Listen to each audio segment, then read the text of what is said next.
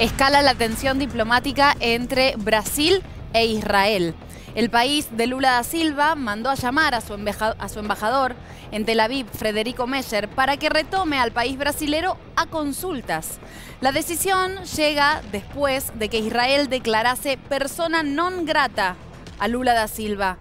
¿Por qué?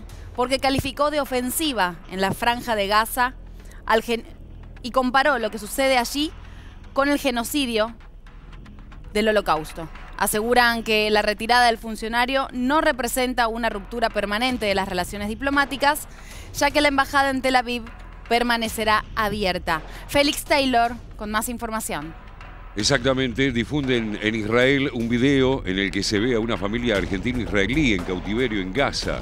Entre ellos está Fir Vivas, el bebé que fue secuestrado con apenas ocho meses de vida.